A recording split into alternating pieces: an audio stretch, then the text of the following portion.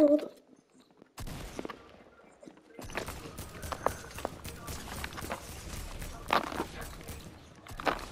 I just took down a duo. And they did some damage.